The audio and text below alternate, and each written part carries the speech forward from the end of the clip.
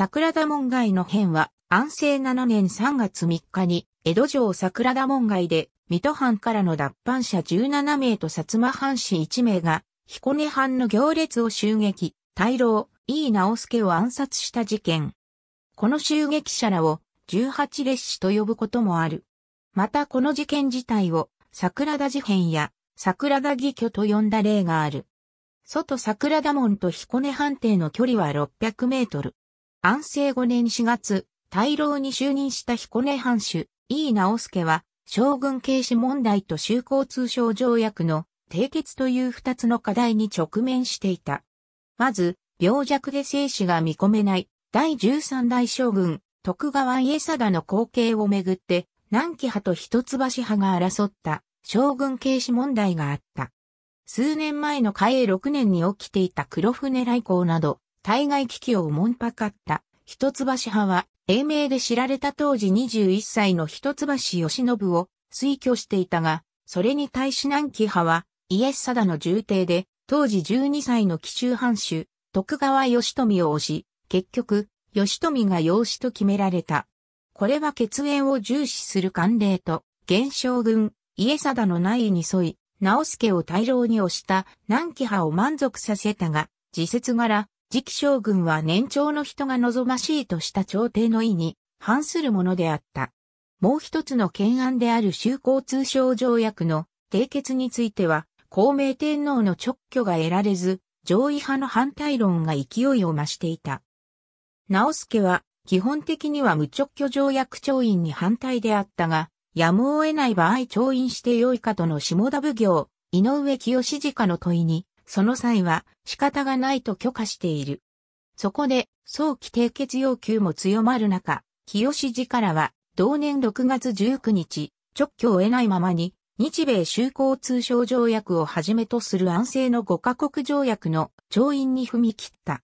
これは、そもそも、鎖国は、朝廷とは無関係に始められたものであり、慣例上、条約締結に直居は必ずしも必要ではなかったからである。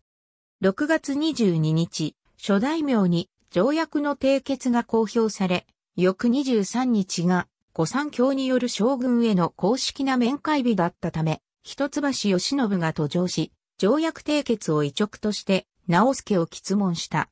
さらに、翌24日に、徳川成明をはじめ、成明の長男の水戸藩主、徳川義敦、一橋派であった尾張藩主、徳川義勝、福井藩主、松平義長が、規則外の藤戸城を行って、無直居の条約締結を遺直と非難した。直助は、義長和と身分が違うから、と別室に移して、規制をそぎ、他の諸侯の質問へは平身抵当を繰り返した。翌25日、義富が将軍、家貞の養子と発表された。7月5日、家貞の命として途上した一橋派諸侯へ処分が下される。その直後、6日に家貞が没し、義富は第14代将軍となり、家持を名乗った。ここに一橋派は江戸城内での活動を制限されたが、一橋派の薩摩藩主、島津成明は、かねて藩士、西郷高森を京都に使わして、内直降下運動を行い、藩兵5000人を率いて、抗議のため上洛することを計画した。しかし、7月16日、成明は死去した。直居を得ない条約調印と成明、春学の排斥は上位論の強かった公家たちに検伝され、孔明天皇も幕府の行いに対し憤慨した。天皇は同年8月、幕政の刷新と大名の結束を解く土の絵馬の密直を水戸藩へ下した。また、幕府寄りとされた関白、九条久忠の内乱を解いて調整から遠ざけた。水戸藩は密直の写しを夕飯に改装するように添え書きで指示を受けていたが、藩内構想の激化により改装することが叶わず、上位白下を通して遠石の諸大名へは回されたものの、幕府権威が未だに強かった当時、各藩は関わりを恐れ相手にしなかった。しかし、朝廷が大名へ直接指令するという事態は、江戸幕府始まって以来前代未聞であったため、幕閣は狼狽した。直助は密直が天皇の意志ではなく、水戸藩の陰謀とし、反論者への徹底弾圧を決心した。まず、老中に再任させた真鍋昭勝を京都に送り、新たに京都諸子大に任命した坂井忠義にこれを発作させた。真鍋は着教後、即日密直首謀者として、水戸藩京都留守教役、鵜飼吉左衛門、高吉府市の京都西町奉行所への出頭を命じて、捕獲しつつ、大朝廷では、態度不鮮明のまま、病画と称して、三代を延期し、長野主前や島田左近と連日協議した。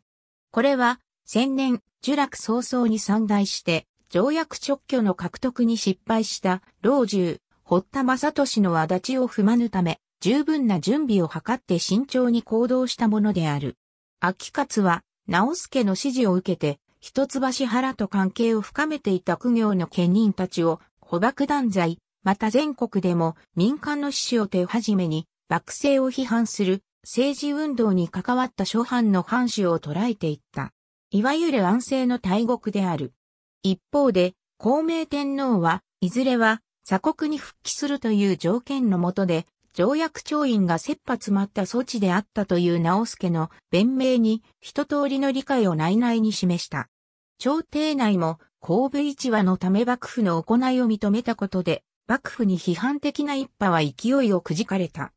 しかしこの時、朝廷との折衝にあたった秋勝は最上位の準備段階と説明したため、幕閣はこの内容を公表しづらくなった。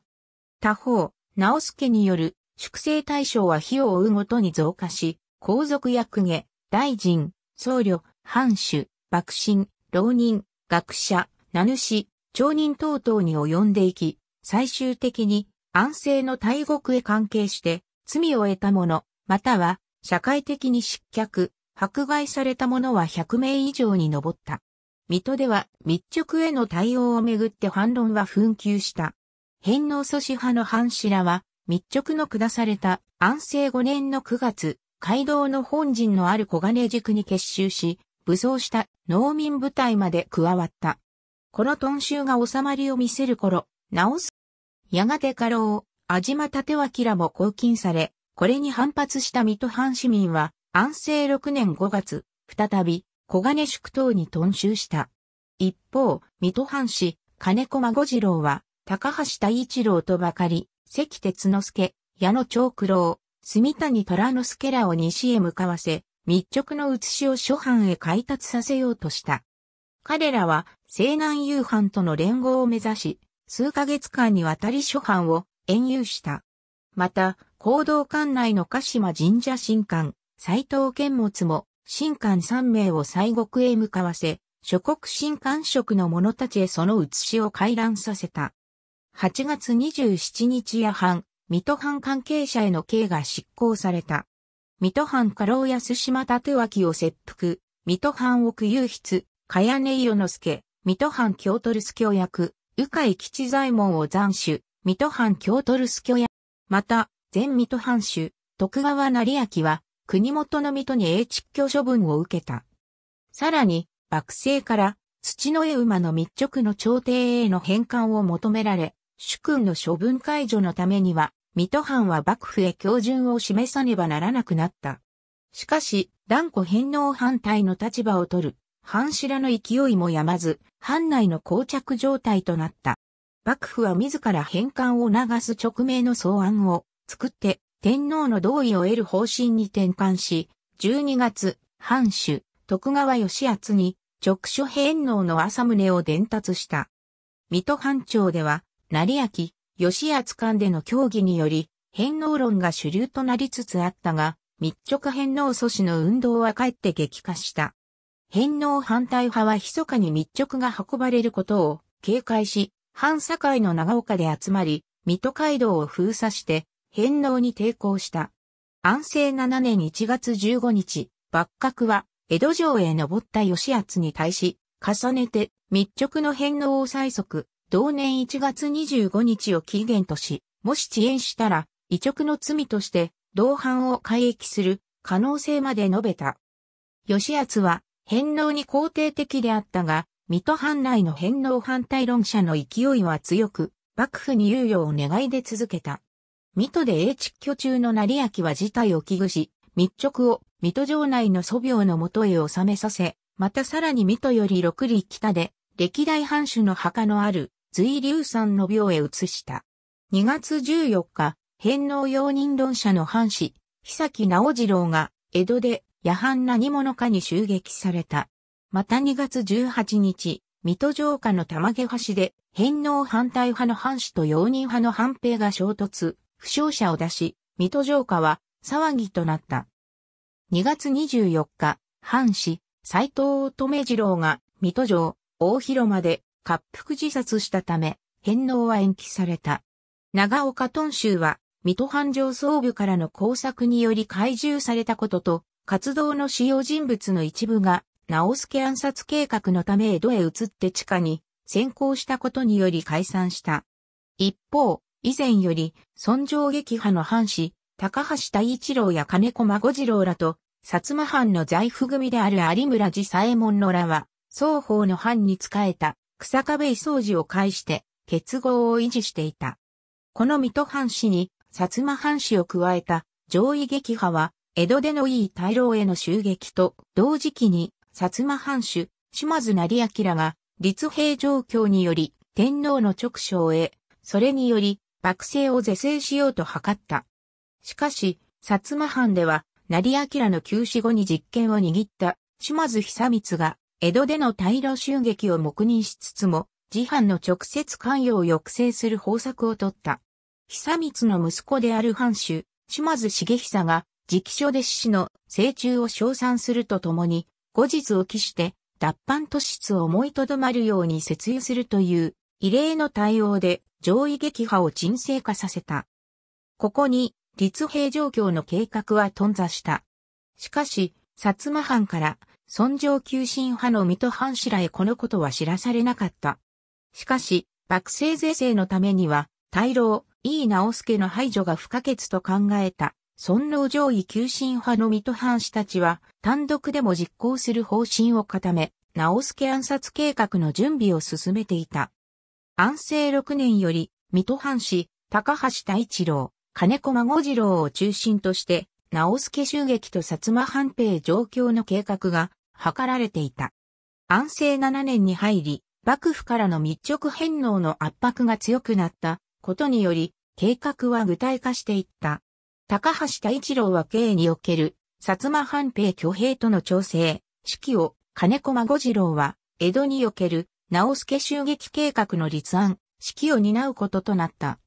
襲撃関係の内国元在住者の江戸入りは、先に江戸に入っていた者、数人で連れ立って、江戸入りした者、単独で来た者と様々であるが、おおよそ安政7年の2月中に、江戸に入った。計画首謀者の水戸藩士、金子孫次郎は2月18日夜、着南、裕次郎や、同藩士、稲田十三、佐藤哲三郎、飯村聖介らを伴って、水戸を立ち、江戸へ向かった。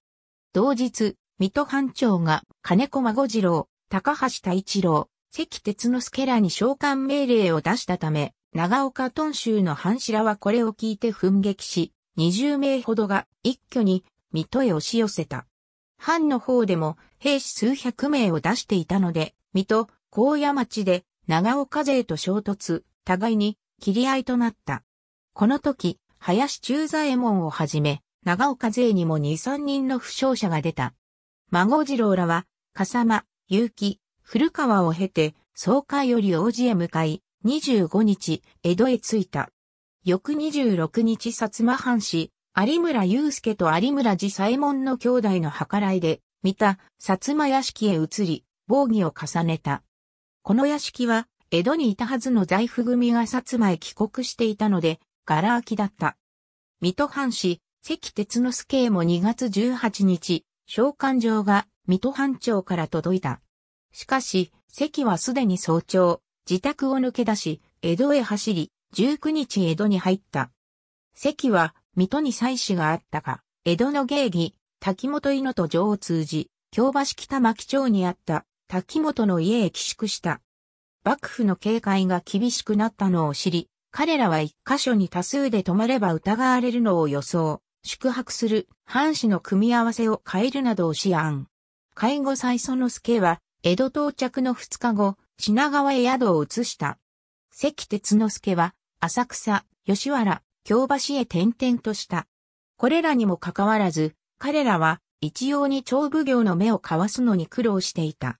薩摩屋敷では、金子孫次郎らと有村兄弟が談義を重ねた。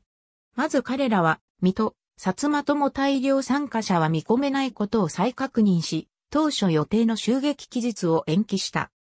標的は、候補に挙げていた、直助側近の老中で、道の食いは北平藩主、安藤信之や同じため缶詰の佐抜高松藩主、松平頼種を外し、直助和人に絞り込んだ。3月1日、金子孫次郎は、日本橋西賀市の山崎屋に、関鉄之助や斎藤健物、稲田十三、佐藤哲三郎、薩摩藩士、有村祐介、そして薩摩藩との連絡役の水戸藩士、木村健の獲物を呼んだ上で、虚構は3月3日とし、襲撃は途上中の直助を桜田門外で襲うべし、と最終決断を下した。この他に、金子は武漢を携え四五人を一組と思想を連携すべし、まず先どもを打つべし、籠脇が狼狽する暇に大老を打つべし、大老の支給を上げるべし、負傷者は切腹か格老へ自訴すべし、その他の者たちに、薩摩藩との次の義挙計画の約束通り経営、赴くべしと定めた。また、できるだけ生き延びて、次の仕事の機会を待つ、という申し合わせも言った。さらにこの時、襲撃の役割と切り込み隊の配置も定めた。金子は全体統率、関は現場式、彼らは切り込み隊へ加わらず皆の監督役とし、水戸藩士、岡部三十郎と、畑谷平は結末を見届けた後、品川の川崎屋に待機した金子へ結果報告することとした。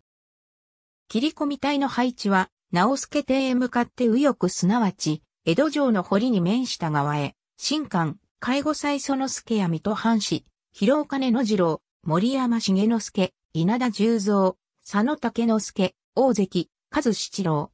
左翼すなわち文を木月判定側へ、水戸藩士、山口達之助、杉山弥一郎、益子金八、黒沢中三郎、薩摩藩士、有村寺左衛門のとした。公営に、新館、恋淵要、水戸藩士、蓮田一五郎、広木松之助を廃し、前衛には、水戸藩士、森五十六郎を当てた。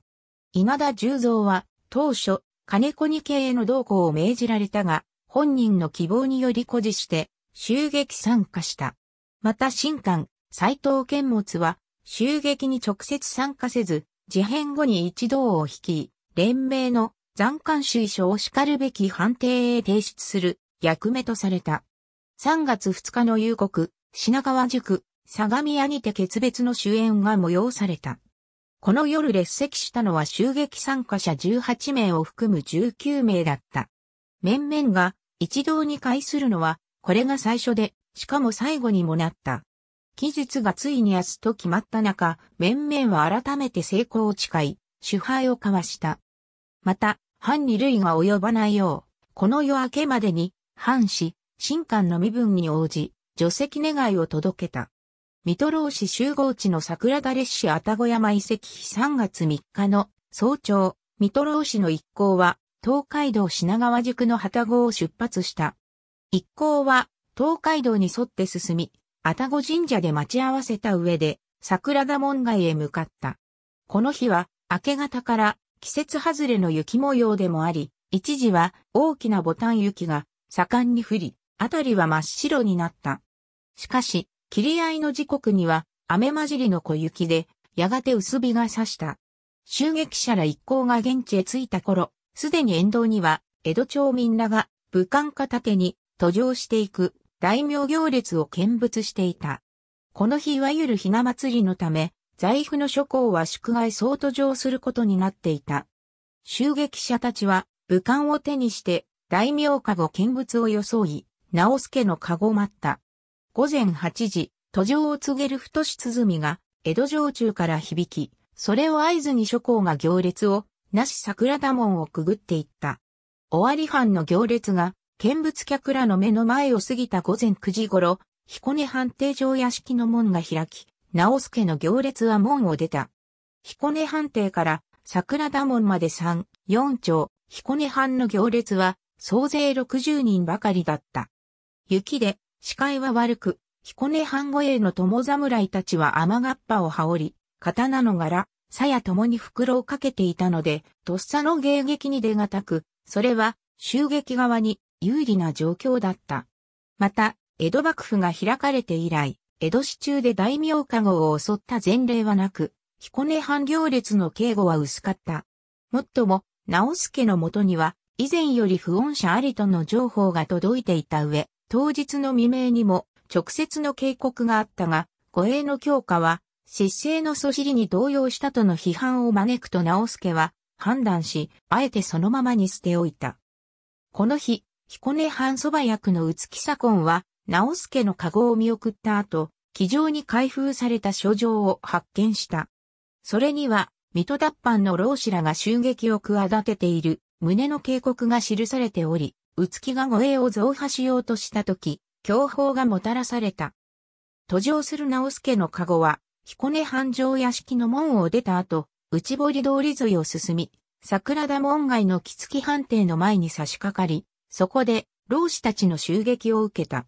先どもが松平近し料亭に近づくと、まず前衛を任された水戸老子、森五十六郎が過去訴えを装って、行列の友頭に近づいた。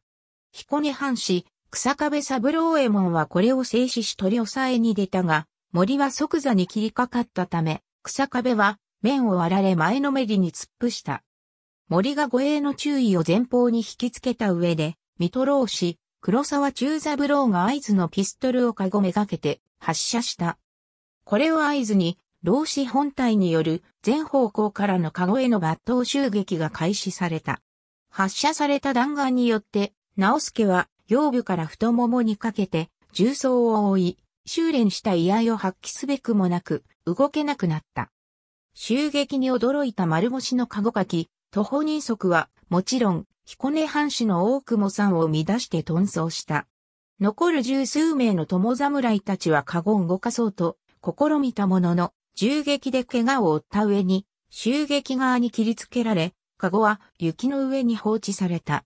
護衛の任にある彦根藩士たちは、雪の水分が柄を湿らせるのを避けるため、両頭に塚袋をかけており、これと鞘袋が邪魔してとっさに抜刀できなかった。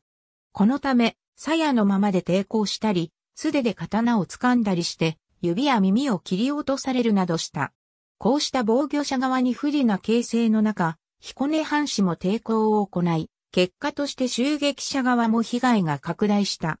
二刀流の使い手として、藩外にも知られていた彦根藩一の剣豪の葛西、中左衛門は、冷静にカッパを脱ぎ捨てて、塚袋を外し、たすきをかけて刀を抜き、籠脇を守って、老子、稲田十三を倒し、さらなる襲撃を防いだ。同じく籠脇の若い剣豪、長田太郎兵衛正成も二刀流で大奮戦し、襲撃者に重傷を負わせた。しかし、葛西が切られて倒れ、長田も重装により、戦闘不能になる。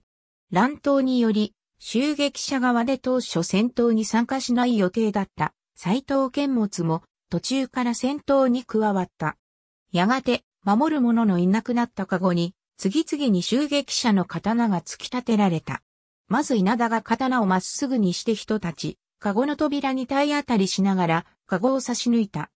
続いて、広岡、介護が続けざまに籠を突き刺した。この間、稲田は、葛西中左衛門の反撃で討ち死にし、葛西もついに倒れた。そして、有村が荒々しく籠の扉を開け放ち、虫の息となっていた、直助の曲げをつかみ籠から引きずり出した。直助は、すでに血まみれで息も怠大であったが、無意識に地面を這おうとした。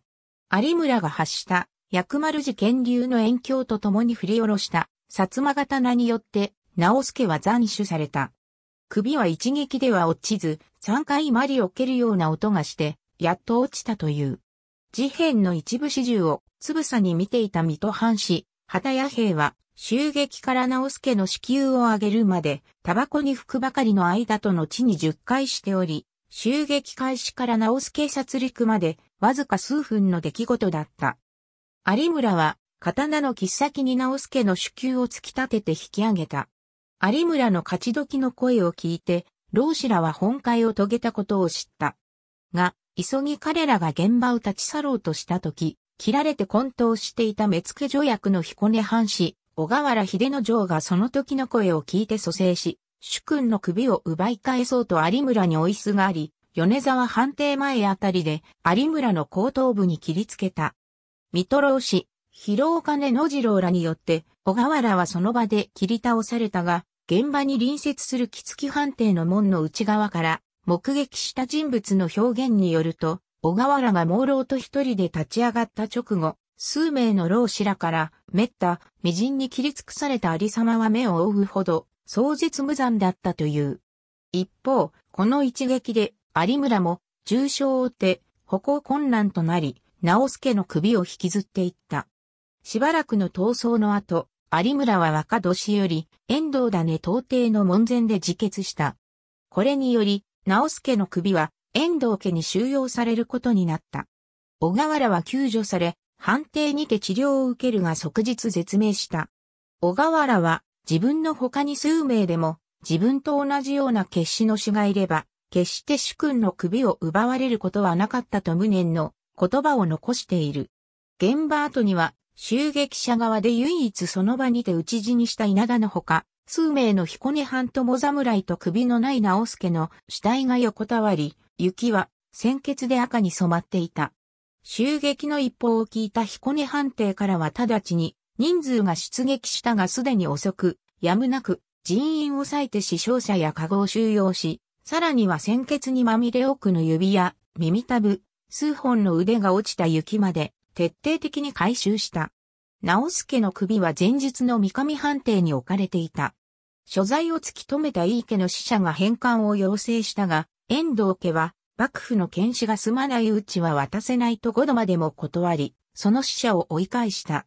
そこで、井伊や遠藤や幕閣が協議の上で、表向きは、投資した藩士の内年齢と体格が直助に似た、片黒太氏の首と偽り、内向きでは、遠藤家は負傷した直助を井伊家に引き渡すという対面を取ることでもらい受け、事変同日の夕方頃、直助の首は、井伊家へ送り届けられた。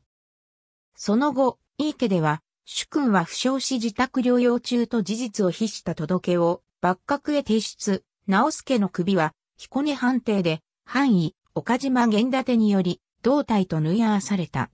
安政7年3月3日、稲田十三は、彦根藩士の葛西中左衛門から切り倒され、襲撃者側でただ一人戦闘中討ち死にした。その他の襲撃者らは、直助の子宮を上げたのを確認後、共に現場を去って日比谷門へ向かった。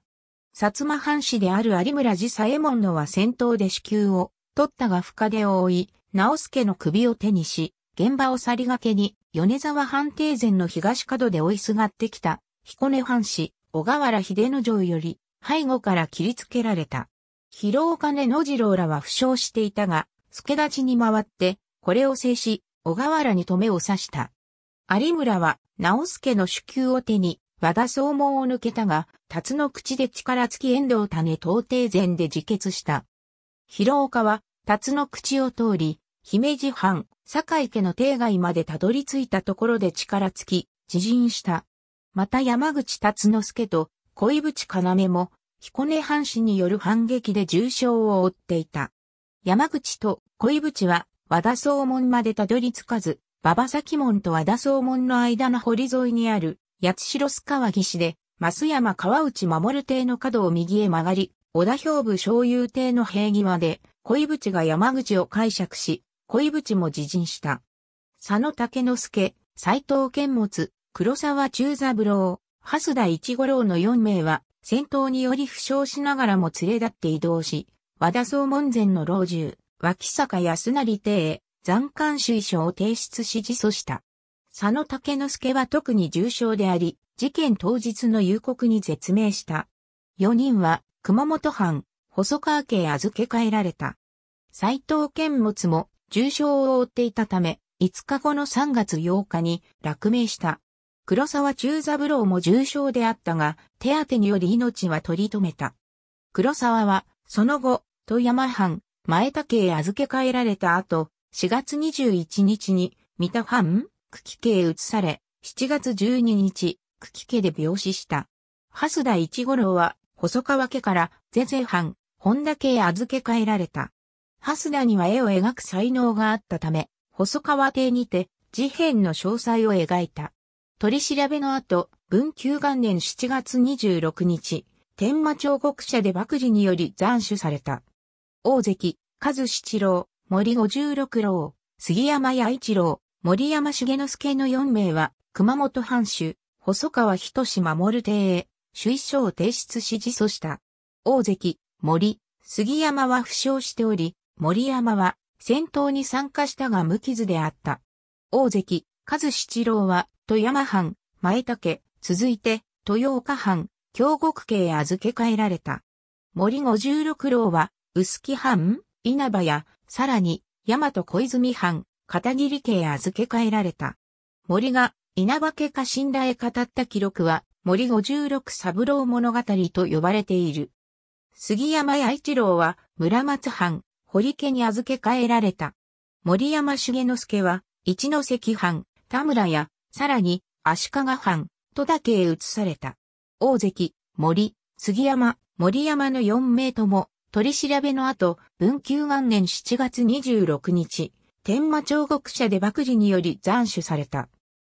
かくして、襲撃の戦闘に参加した16名のうち、1名が投資、4名が自陣、8名が自訴した。残る3名は大きな負傷なく現場を脱し、戦闘不参加の関鉄之助、岡部三十郎や協力者と共に、計画通り刑を目指した。しかし、幕府の探索の手も広がり、襲撃計画の首謀者である、水戸老氏、金子孫次郎は、薩摩老氏、有村祐介、水戸老氏、佐藤哲三郎らと共に京へ向かったが、途上、3月9日に、伊勢、四日市の旗子で、薩摩藩兵により捕獲された。金子孫次郎と佐藤哲三郎は、伏見奉行所に引き渡されて、24日江戸へ護送された。取り調べの後、金子は、文久元年7月26日、天満彫刻者で幕寺により斬首された。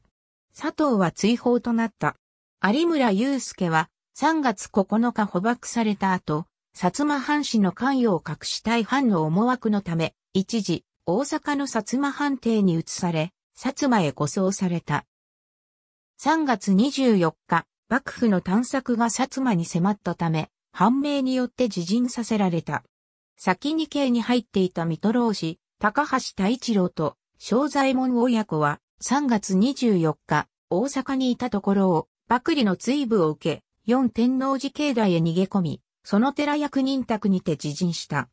大阪で、薩摩藩との連絡役であった水戸老氏、川崎孫四郎も3月23日探索に追い詰められて自陣し、翌日死去した。襲撃者のうち戦闘不参加で、検視見届役として参加していた岡部三十郎は、事件後、関鉄の助らと大阪へ向かったが、薩摩藩の立兵状況計画が不可能と知って、水戸へ帰還し、九時郡、袋田や水戸城下あたりへ潜伏した。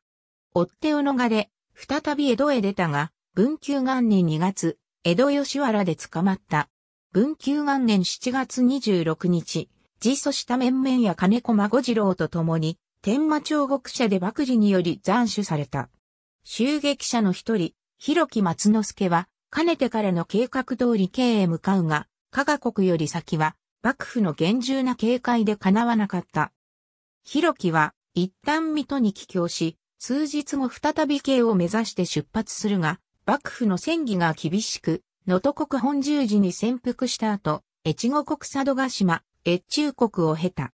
越後国新潟でたまたま居合わせた水戸藩士、後藤哲之助は広木を助け、旅費を用意した上で広木を逃がした。文久元年、後藤は幕里に囚われた。所持品から広木の印が見つかった上、取り調べ時に広木松之助であると供述したため、文久2年5月江戸へ送られ、天満町の監獄につながれた。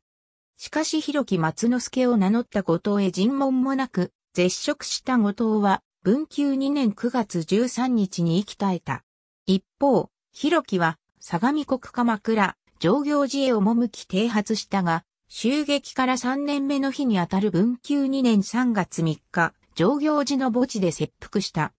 また、広木が直助の子宮を水戸へ持ち帰ったという伝承がある。襲撃の現場葬式である関哲之助は3月5日に江戸を出発して京へ向かい、中山道から大阪へ入った。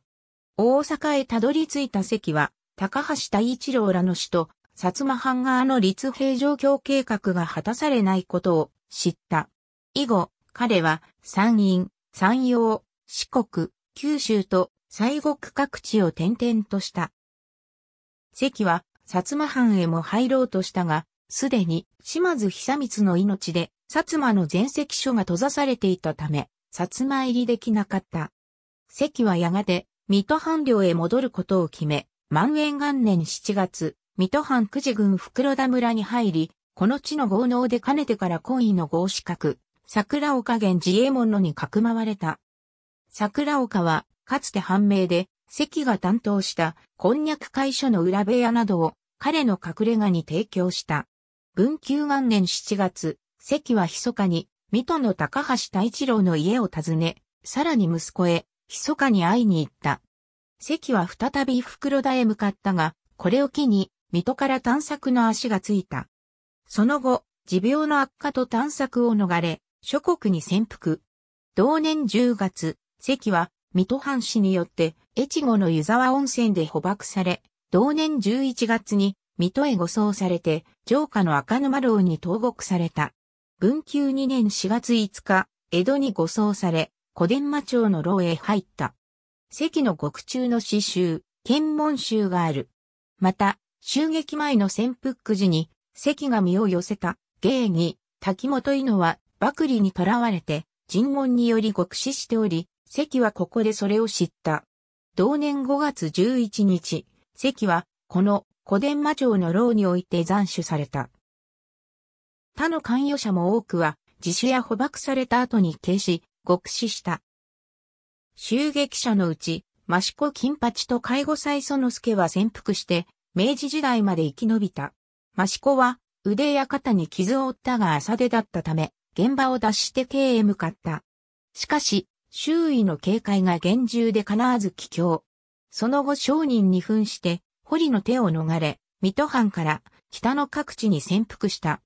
明治時代となってから石塚村へ戻るが、襲撃事件について沈黙し、語ろうとしなかった。益子は、同志の冥福を祈りながら、読書と狩猟の余生を過ごし、明治14年に病没した。介護は指を切り落とされながらも、現場を脱し、水戸藩領の小田の村にある親戚の高野家などへ隠れた。その後、介護は京へ向かうため越後国へ向かったが、文久3年に帰郷。現時元年の天狗島の乱には変名で、天狗島へ参加、関宿藩に預けられたが、ここも無事脱出した。明治維新後、旧水戸藩士身分に復帰、茨城県庁や警視庁等へ勤務、退職後の明治36年自宅で没した。介護は、事件前のいろいろな申し合わせは一切、口外しないとの固い約束があり、一人の生き残りが、語っては、約束を破るようで申し訳ないからと生前、口を閉ざしていた。海後の意向に、襲撃の一部始終を伝える、春節遺談や、選挙中覚書がある。襲撃現場で、討ち死にした稲田、及び自陣した有村、広岡、恋淵、山口の以外は、小塚っ原形状に隣接するエコ院に運ばれ埋葬された。また、7月26日に処刑された、蓮田、大関、森、杉山、森山、金子、岡部の七人もエコ院に埋葬された。文久の改革で、上記老子の以外は故郷に起訴を許されて、水戸の時は共有墓地他に改装された。襲撃により、藩主である直助以外に8名が死亡し、他に5名が重軽傷を負った。判定では、水戸藩に仇討ちをかけるべきとの声もあったが、家老、岡本半助が叱責して阻止した。死亡者の家には、後目相続が認められたが、事変から2年後の文久2年に、直助の護衛に失敗し加盟を恥ずかしめたとして、生存者に対する処分が下された。草刈桑五郎など重傷者は、現地の上、半領だった下野国佐野へ流され上げ屋に幽閉された。軽傷者は全員切腹が命じられ、処分は本人のみならず、親族に及び、江戸城府の家臣を国元が抑制することとなった。井家の菩提寺である、東京都世田谷区の豪徳寺には変で亡くなった8名の慰霊碑が直助の墓の後方右手に寄り添うように立っている。老中、安倍正宏や徳川成明、島津成明らが主導した夕飯協調体制を否定、幕閣絶対主義を反対者の粛清により維持しつつ、朝廷からの政治介入をも阻止するという井伊直輔の先制政策路線は自身の死によって決定的に破綻した。そればかりか、御三家の一つである、水戸徳川家と不大大名筆頭の井伊家が反目、長年持続した幕府の権威も大きく失墜し、文久期以降に、尊王攘夷運動が激化する短所となった。ここからわずか7年と7ヶ月後の慶応3年10月14日、第15代将軍、徳川義信によって、大政奉還がなされ、同年の江戸会長により急転直下でなる、明治維新への直接的ではっきりした起点が、この桜田門外の変であった。井伊直輔当時の公式記録としては、井伊直輔は急病を発ししばらく闘病、急遽相続願いを提出、受理された後に病死したとなっている。これは、不大筆頭である井伊家のお家断絶と、それにより誘発される水戸藩への仇討ちを防ぎ、また、暗殺された直輔自身によってすでに重い処分を受けていた水戸藩へさらに制裁を加えることへの水戸藩士の反発、といった騒乱の激化を防ぐための、老中、安藤信正ら残された、幕府首脳による破格の配慮であった。井家の菩提寺、豪徳寺にある墓碑に、命日が3月28日と刻まれているのは、このためである。これによって、直助の子、愛麻呂による後目相続が認められ、井家は取り潰しを免れた。直助の死を秘匿するため、存命を装って、直助の名で、桜田門外にて負傷した旨の届けが幕府へ提出され、将軍家からは直助への見舞い品として、大量の薬用、御主人参などが判定へ届けられている。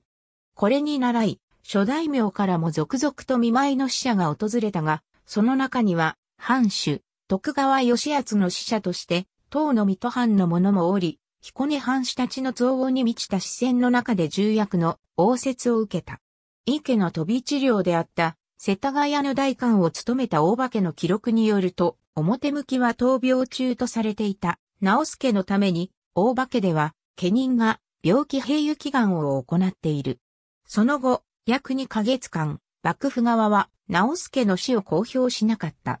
しかし、襲撃後の現場には皇族の大名籠が続々と通りかかり、鮮血にまみれた雪は多くの人々に目撃されており、大老暗殺は直ちに江戸市中へ知れ渡った。切り合いはすでに終わったにもかかわらず、天気の回復した事変当日の午後から夕方には、見物人が桜田門付近のぬかるみの道に群れをなした。直助の狂犬と襲撃を受けた際の彦根藩士の老媒ぶりは皇太省で、イーカモン島をもじって、イーカモン網で取らずに、カゴで取りなどと姿勢に揶揄された。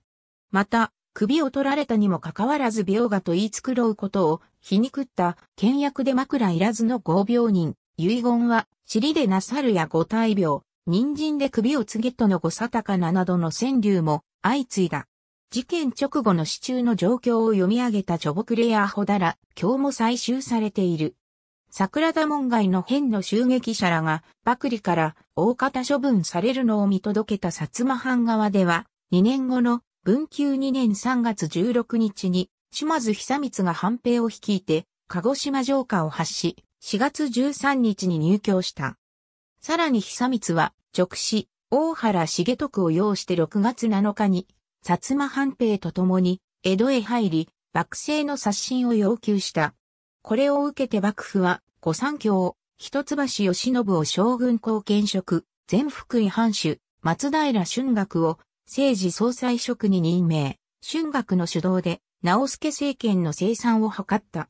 末期の直助政権を支え、直助の死後に幕閣をまとめた、老中、安藤信正は、同年初めの坂下門外の変では不詳で済んでいたが、この改革で、久世広金と共に老中を罷免された。また、彦根藩は、幕府より国高を35万国から25万国に減らされ、藩主の京都守護の過職を剥奪され、会津藩主、松平片森が代わりに、京都守護職へ当てられた。これに先立って、彦根藩は、直助の腹心だった彦根藩士、長野主前と同藩士、宇月慶福を切腹より重い重罰であった斬首、打ち捨てに処したが、結局のところ原法を免れることはできなかった。慶応2年6月7日、第二次長州征伐で、彦根藩士510名は赤備えを着て幕府方で出陣した。彼らは、鎧が夜間でも目立つことがかえってあだとなり、長州砲の遊撃隊から狙撃され、大敗を喫した。慶応4年1月3日から6日、鳥羽、伏見の戦いでは、不大筆頭として、藩主、井伊直則率いる彦根藩は、幕府軍の先鋒を務めていたが、翻って、新政府軍についた。彦根藩はその後も薩摩藩兵と共に、当時や大津を守備するなど、倒幕の姿勢を示した。明治17年の家族令施行に伴い、旧藩主、井伊直則は伯爵に除されたが、この爵位は原法後の国高を基準としたものであった。しかし、総行35万国で、近江藩国領主という国持ち大名に準ずる、旧幕府の格式に沿うならば、一階級上の公爵となるはずとの思惑が、井伊家の周辺にあった。そのため、安政の大国の恨みで新政府に冷遇され、伯爵に落とされたとの説が、井伊家周辺に流れた。しかし、原法後の彦根藩、原石は9万国程度であったし、さらには仮に原法がなかったとしても国持ち大名で、原石15万国を基準とする公爵の基準は満たしていない。そもそも爵位は、藩籍法漢字の原石が基準であり、安政の大国の恨みなどというのは全くの俗説である。彦根藩はすでに鳥羽、伏見の戦いの時点で倒幕もしくは勤労の姿勢を示しており、彦根藩士は流山で元新選組、近藤勇を逮捕するなどして、先行として小天禄二万国を新政府側から与えられていた。また直則は、有栖川の宮家から則子夫人を迎えた。慶応三年、征夷大将軍時代の徳川義信事変を見届けた水戸藩士、旗屋兵は品川の旗子の金子孫次郎へ結果報告後、直ちに水戸へ急ぎ、ことの経緯を藩長へ伝えた。そのため、事件翌日の3月4日には、国元で英窒居中の前、水戸藩主、成明のもとへ、変の詳細が伝わった。水戸藩側では事態を知り驚愕、江戸の水戸藩邸では幕府へ、老子らは脱藩者ゆえ王法に即死処置されたい。関係者は、水戸藩でも探索し召し取るつもりである旨を上申した。その後、脱藩関係者らは捕獲され、松平片森の仲裁もあって、水戸藩は事なきを得た。残された、尊上急進派の水戸藩士は、万延元年7月に、長州藩との間で結ばれた、聖派の名約を背景に、文久元年から源氏元年にかけ、第一次、東禅寺事件や坂下門外の変、天狗島の乱などの尊王上運動を先駆けた。藩領内で生じた天狗党の乱により、幕府の命に動いた保守派、諸政党がその鎮圧へ転じた。天狗道は前水戸藩主の子、一橋義信を頼って京都へ向かったが、彦根藩士は直助公の仇討ちと戦意を高揚させて中山道を封鎖し、このためやむなく天狗党一行は、美濃から飛騨を経て、越前へ入り、敦賀に至った。義信が鎮圧軍の長として出陣したことで、源氏元年12月敦賀にて投降した。加賀藩は彼らを交流したが、幕府追討軍総括、東東海相良藩主で若年より、田沼井村は彼らを二神層へ入れ、20名以上の病死者を出した。さらに、参加を欲した彦根藩士らの手により、現時2年2月23日までに、敦賀の来郷寺境内で、水戸藩士352名が斬首された。他の者は、遠投、追放された。その後、第二次長州征伐中に起きた第14代将軍、家持の皇居に伴って、徳川義信は徳川将軍家を継ぎ、ついで第15代将軍に就任した。また義信は、慶応3年10月14日に、大政奉還を表し、その後江戸会場によって、江戸幕府の歴史に幕を閉じた。慶応4年、義信の実刑で、水戸藩主、徳川義敦は、新政府からの直書により、同犯罪協組からなる本国自勢を率い、諸政党約500名が退去した水戸城へ入った。この後、天狗党生存者らによる激しい報復が行われる。その最中、4月に吉厚が没し、政情不安定のため、吉厚の異母邸で欧州留学中の清水徳川や第六代当主、徳川秋武が後継になることになった。諸政党は奥羽越列藩同盟側に加勢し、北越戦争、会津戦争等、各地を転戦した後、水戸藩の主導権再奪還を期して、水戸へ戻り、行動間戦争が起きた。敗走した諸政党は続く、松山戦争で劣勢へ転じた末、壊滅した。11月に帰国した秋武は、吉厚の後を継ぎ、明治2年に最後の藩主となった。なお、桜田門外の編集劇者と天狗トーラは共に、靖国神社へ合祀されている。桜田門外の変で敵対した両藩の城下町で、ある水戸と彦根が和解して、親善と指定刑を結んだのは、事件発生から約109年後の昭和43年10月29日であった。水戸市から彦根市へは、偕楽園の梅、彦根市から水戸市へは、彦根城彫りの白鳥がそれぞれに送られた。当時の彦根市長は、直助の彦にあたる井伊家の当主で、殿様市長として知られた、井伊直義だった。水戸市と彦根市を仲介したのは、敦賀市だったが、敦賀は、水戸天狗党が、彦根藩士から処刑された土地だった。その後の昭和49年4月13日、水戸市と高松市が、今度は、彦根市の仲介で、親善都市を提携した。平成25年4月の彦根市長選挙において、当時現職の資山無用市長は、対立候補の一人の有村国日が、有村寺左衛門のの弟の子孫であることを指摘し、そのような人物が市長選挙に出馬することは容認できないと主張するビラを支持団体に配布させた上、選挙の争点として訴え続けた。この行動に対しては有村だけでなく、もう一人の対立候補で死産を破って当選した大久保隆また市民からも批判を浴びている。発表順。ありがとうございます。